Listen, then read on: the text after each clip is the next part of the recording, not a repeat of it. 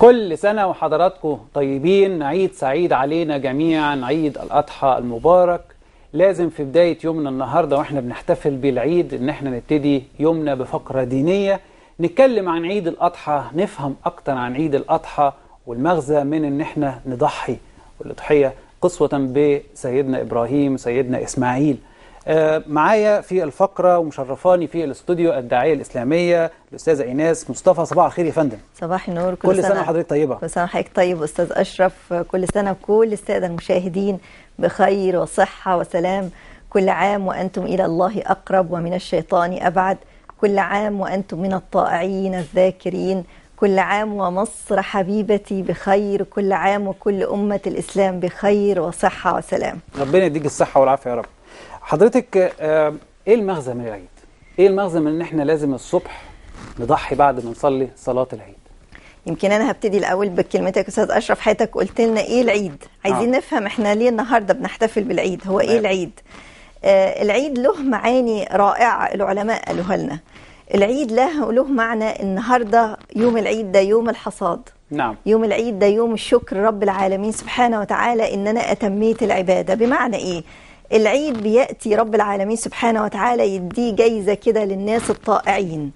آه، اللي قعدوا فترة يعبدوا ربنا سبحانه وتعالى ويجتهدوا في هذه العبادة. وإحنا لينا عيدين عيد الفطر وعيد الأضحى. فعيد الفطر بيأتي بعد فترة من الاجتهاد والعبادة والصيام والقيام وقراءة القرآن. آه، آه، ويجي بعد كده العيد الأضحى. هذا العيد بيجي أيضا بعد العشر الأوائل من ذي الحجة. نعم. في الأيام دي إحنا اجتهدنا في العبادة صمنا وصلينا وقرأنا القرآن وقدمنا من الخيرات واجتهدنا. وكانت الأيام دي بيقول عنها صلى الله عليه وسلم. ما من أيام العمل الصالح فيها أحب إلى الله من هذه الأيام. قالوا ولا الجهاد في سبيل الله يا رسول الله؟ قال ولا الجهاد في سبيل الله إلا رجل خرج بنفسه وماله فلم يرجع من ذلك في شيء. فبعد فترة الع- ال- العبادة والاجتهاد في هذه الأيام المباركة اللي كان العمل الصالح فيها أفضل العمل واللي كانت أفضل أيام الدنيا عند رب العالمين سبحانه وتعالى يأتي يوم الحصاد ويوم الجائزة. نعم. ربنا سبحانه وتعالى بعد فترة الاجتهاد والتعب دي يديني بقى جايزة الثواب. الأجر. وكل حاصد كل زارع يحصد اللي زرعه. نعم. اللي زرع خير هيحصد يوم العيد الخير الأجر والثواب من رب العالمين سبحانه وتعالى. واللي زرع طول الفترة دي شر يعني معاصي وهجر لعبادات رب العالمين سبحانه وتعالى والبعد عن الله سبحانه وتعالى. كل ده هيأتي في النهاية وهو الحصاد بتاعه رديء وسيء. نعم. فنسأل رب العالمين سبحانه وتعالى إن إحنا في يوم العيد يكون الحصاد بتاعنا حصاد طيب بعد فترة الاجتهاد والعبادة. في يوم العيد إحنا بنتأمل معنى جميل قوي. نعم. معنى شكر رب العالمين سبحانه وتعالى إنه وفقنا لأداء العبادة والاجتهاد في العبادة. نعم. لولا الله لولا رب العالمين سبحانه وتعالى ما صلينا ولا تصدقنا ولا قمنا ولا ولا ما فعلنا عملناش كل العبادات. لولا أن رب العالمين سبحانه وتعالى وفقني. في يوم العيد بستشعر معنى رائع. الحمد لله رب العالمين أن وفقتني لفعل الخيرات. نعم. الحمد لله رب العالمين أن استطعت أن هو يوفقني كده أن أنا أقف أصلي وأصوم وأقدم الخير وأخدم الناس وأعمل كل هذه الطاعة. ومن شكر بقى نقابل في يوم العيد. شكر على إن ربنا سبحانه وتعالى وفقني في الفترة الماضية على أداء هذه العبادات أني لا أنقطع عن الخير ابدا. أظل هكذا طول العام ويبقى دي من المعاني الجميلة في يوم العيد. النهارده يوم سعادة وسرور وفرح ودي من المعاني الجميلة للعيد في الإسلام. أستاذتي هل في مؤشرات مثلا ربنا سبحانه وتعالى بيبعتها للإنسان المسلم ال- ال- المطيع لله اللي بيأدي كل الفرائض وبيأدي كل العبادات إن هو مثلا يحس بطريقة أو بأخرى إن ربنا راضي عنه. أيوه. علمائنا كانوا يقولوا لنا في فعلا علامات لقبول العمل. نعم. وكان سيدنا علي بن أبي طالب يقول كده للناس. يقول كونوا أشد اهتماما بقبول العمل من العمل نفسه. يعني أنا عملت العمل وأديته ويبقى المؤمن بقى حاله كده يا ترى ربنا تقبل مني ولا وفعلا في علامات إن ربنا سبحانه وتعالى وفقني الخير تقبل مني الأعمال منها مثلا. نعم. إن رب العالمين سبحانه وتعالى ألاقيه يوفقني لمزيد من الطاعات بعد ذلك. عظيم. لأنه الإمام ابن القيم بيقول لنا كلمة جميلة بيقول لنا بأن الحسنة تستوحش. مم. يعني الحسنة ما تحبش تقعد لوحدها الطاعة ما تحبش تقعد لوحدها عايزة أخت عايزة رفيق عايزة صاحبة نعم فرب العالمين لما أعمل طاعة يتقبلها مني يوفقني من العلامات إنه تقبلها مني يوفقني لمزيد من الطاعات تبقى حياتي كلها سلسلة من الطاعات مم. من علامات قبول الطاعة أيضا إن أنا ألاقي نفسي وأنا بصلي وأنا بصوم وأنا بقدم الخير وأنا بتصدق ألاقي نفسي آه، بستشعر حلاوة هذه العبادة. بعد ما كنت بقف بصلي كده بشكل حركات وبس ألاقي نفسي بصلي وأتلذذ بالصلاة. نعم. ألاقي نفسي وأنا بصوم بتلذذ بهذه العبادة. ألاقي نفسي وأنا بتصدق بستشعر المعنى إنه هذه الصدقة تقع في يد الله سبحانه وتعالى. وأبقى سعيدة ومبسوطة وأنا بنفق في سبيل الله تعالى. ودي من العلامات التلذذ بالعبادة. مم. تصبح الصلاة دي قرة عيني في الصلاة فرحتي وأنا بصلي بستنى وقت الصلاة. عظيم. من. العلامات أيضا ان أنا لما أشوف حرمة من حرمات الله سبحانه وتعالى تنتهك يعني حد بيعمل حاجة غلط أو حرام. أغير على إسلامي أغير على ديني. وأنا بفعل الخير والطاعة. أحب إن كل الناس تفعل الخير والطاعة. فنسأل نعم. رب العالمين سبحانه وتعالى إن نفوز بهذه يا رب. العلامات وربنا يا رب يتقبل منا. جميعا والمشاهدين نهارك سعيد كمان. طيب ليه؟ اولا خلينا نقول هل كل واحد عليه إن هو يضحي يعمل آه، آه، أضحية؟ هي- دي سنة عن رسولنا الكريم صلى الله عليه وسلم آه. للقادر اللي معاه فلوس تمام للقادر اللي معاه فلوس في يوم هذه الأضحية آه. يسن لينا المسلمين إن هم يضحوا تأسيا برسولنا الكريم صلى الله عليه وسلم فإذا هو- هي سنة وليست آه هي. سنة للقادر آه آه كان رسولنا الكريم صلى الله عليه وسلم يفعل ذلك. هو ضحى بكبشين أملحين أقرنين وذبحهم بنفسه صلى الله عليه وسلم. عشان كده في ناس بعض الناس يعني تحب حتى تعمل زي الرسول صلى الله عليه وسلم وتتعلم الذبح وإن كان صعب على بعض الناس.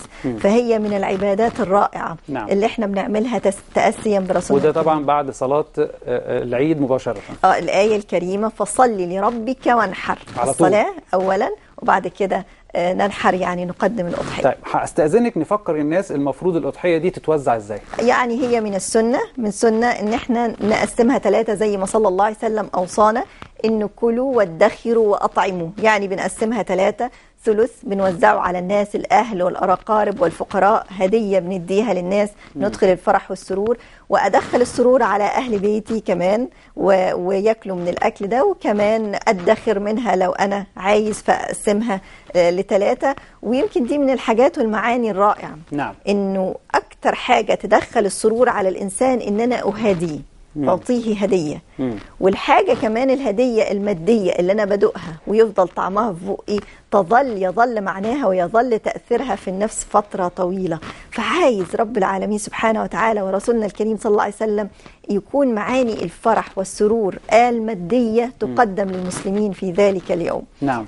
في بعض الناس يقول لك أنا مش مش عايز آخد التلت بتاعي. لا أنا عايز أوزع كل الأضحية. هو آه يسن لي ذلك ويبقى أخذ الثواب والأجر. لو هو عمل كده أخذ الثواب والأجر ولو هو وزع كله أخذ الثواب والأجر. ويمكن في كثير من القادرين فعلا اللي طول السنة بياكلوا لحمة. نعم. فبيبقى عايز الأضحية دي يوزعها على الناس والفقراء أو في من الناس اللي بتحب تحتفظ بجزء من الأضحية في بيتها لأولادها. آه، أو آه، في فعلا إحنا يعني في بعض البيوت عندهم آه، مثلا يوم آه ويوم لا بياكلوا لحمة ففعلا بيبقى هو مش عايز يشيل هو عايز يضحي بكل بكل الجزء الفقراء والمساكين فيجوز لنا إن إحنا نعمل كده إن شاء الله آه، ويسن لنا إن إحنا نوزعها بالطريقة اللي إحنا عايزينها. هل الأضحية لازم تكون خروف؟ لا مش لازم تكون خروف. تبقى إيه أو إيه أو إيه؟ آه، ممكن الإبل وممكن البقر كمان. يعني يعني سؤال يعني غريب شوية. يعني هو لازم ال- الإبل أو يعني آه، خروف أو بقرة أو آه، أو جمل تمام؟ بس هما الثلاثه دول. أيوه. هل في؟ هو كان هو كانت العادة زمان أيام سيدنا إبراهيم عليه السلام آه. إنه الناس كانت بتعمل كده في وقته في نعم. الوقت بتاع سيدنا إبراهيم. مم. كان آه، الراجل لما يجي يلاقي آه، آه، في مصيبة أو ابتلاءات أو كوارث يعمل إيه؟ يقوم جايب أغلى حاجة عنده ابنه. يجيب عيل من عياله ولد من أولاده ويذبحه تقربا لله علشان يمنع عنه غضب رب العالمين سبحانه وتعالى. فرب العالمين سبحانه وتعالى علشان يمنع هذه العادة السيئة اللي كانت موجودة عند الناس فحدثت بقى الحادثة الشهيرة بتاعت سيدنا إبراهيم وسيدنا إسماعيل ونزل بقى الكبش اللي هو آه، يفتدي بيه إنه نبطل إن إحنا لأن رب العالمين سبحانه وتعالى أشفق على الناس أشفق على الإنسان من من الإنسان نفسه. نعم. يعني الإنسان ذبح ابنه لكن ربنا سبحانه وتعالى مش عايز حاجة زي كده ابدا تحصل للناس ويمكن دي كانت من العادات القديمة. ف آه، آه، نزل رب العالمين سبحانه وتعالى الكبش اللي فدى بيه سيدنا إسماعيل وكل الناس بقت تعمل كده. طيب رأي حضرتك إيه في يعني شبه بقت موضة أو بقت نقدر نقول كثير من الناس بيقوموا بكده إن هو يقول لك إيه أنا مش عايز أذبح ومش عايز يعني يعني أشوف الدم و و و أنا هعمل حاجة اسمها صك الأضحية. أيوه. رأي الإسلام إيه في الموضوع؟ آه؟ هو يجوز إن علمائنا اجازوا ذلك كثير من علمائنا اجازوا ذلك. وكمان آه، في يعني بعض الموضوع آه. مش موضوع إن أنا أذبح وأشوف الدم و و و وآخد تلتها يعني الموضوع مش ده. يعني مش الموضوع هو ال ال ال ال المنظر ده. هو ال ال ال ما, ما وراء تقديم ذلك. آه، موضوع تقديم ال- الأضحية لله رب العالمين تقديم المعنى. ولكن الحقيقة وإحنا بنحضر كل هذه المراسم وإحنا بنستشعر ده رسولنا الكريم صلى الله عليه وسلم بيقول لنا كده بيقول لنا آه، ما عمل آدمي عمل أحب إلى الله تعالى في يوم النحر من إهراق دم.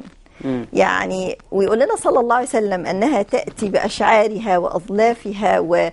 يعني تأتي بكل جزء فيها وأقرانها بتأتي يوم القيامة كده آخذ عليها ثواب وأجر. مم. فهو الحقيقة وإحنا بنشهد هذه المناسك أنا وأنا ب... بشهد ذلك بتذكر المعاني الرائعة اللي حصلت والقصة بتاعت سيدنا إبراهيم وسيدنا إسماعيل. بتذكر إن أنا بعمل طاعة لرب العالمين سبحانه وتعالى. بتذكر إن كل جزء من هذه الأضحية هيجي لي يوم القيامة إن شاء الله يشهد لي وأخد عليه أجر وثواب. يعني رسولنا الكريم بيقول لنا كده إنها تأتي بأظلافها وأشعارها وقرونها واخد عليها ثواب بالرغم من أن الأضحية قطعت. يعني خلاص هي معالمها كلها انتهت. نعم. ومع ومع ذلك رسولنا الكريم يقول لنا كل حتة فيها هتيجي زي ما هي كده واخد عليها الأجر والثواب. فيعني من الجميل إن أنا أشهد ذلك وأستشعر المعاني وأستشعر ولكن لو ما ما يعني مش عايز تعمل الموضوع ده ممكن إنك أنت توكل أحدا إن هو يضحي عنك وده حلال طبعا. إن شاء الله. اللي أنا هقوله دلوقتي ده أكيد برضو كان أيام الرسول عليه الصلاة والسلام إنك أنت مثلا تكون عايش في بلد آه، مش إسلامية أو بلد ما فيهاش موضوع العيد الأضحى. فهل في إمكانية إن أنا آه، آه، أضحي مثلا و- و- وأقول مثلا قريبي ضحي لي كذا كذا كذا وأنت في مصر ووزع الأضحية. أو مثلا في بلد م- مش شايف إنها فيها ناس محتاجة بالشكل ده. في بعض المسلمين السنة دي قدموا الأضحية بتاعتهم لأهل الصومال كويس قوي آه ف... فيعني آه، استشعارا إن أنا في جزء كده من بلاد المسلمين مسلمين موجودين في مكان تاني بيعانوا من هذا الأمر نعم. وإحنا نتمنى إنه فعلا هذه. الأمور لو إحنا بقى أمة إسلامية كبيرة والأمور عندنا بتتم بشكل مؤسسي يعني في مؤسسة كبيرة مثلا على مستوى كل الدول العربية والإسلامية. تنظم هذا الموضوع وبالتالي في دول فعلا عدد سكانها قليل جدا وبتقدم عدد كبير من الأضحيات أو فيها من الأغنياء الكثير نعم. دولة تانية عدد سكانها كبير جدا وفيها الكثير من الفقراء وفعلا نعمل تكافل زي نعم. ما إحنا بنعمل جوه البلد بتاعتنا تكافل نعمل على مستوى أمتنا الإسلامية كلها تكافل مم. إنه إحنا نشوف أكثر البقاع حاجة لهذه الأضحية نعم. ونوجهها ليها ويمكن ده من المعاني الجميلة جدا كان الشيخ الشعراوي بيقول لنا كده عن الحج بيقول لنا بيقول ان الحج ده مؤتمر عالمي مم. دعا إليه رب العالمين فاستجاب له المؤمنون بيقول لنا لو استفاد الناس من الحج من المظاهر اللي إحنا بنشوفها دي لو استفاد الناس من الحج استفادة جيدة لكانوا وأصبحوا كما وصفهم صلى الله عليه وسلم كالبنيان المرصوص يشد بعضه بعضا. سريعا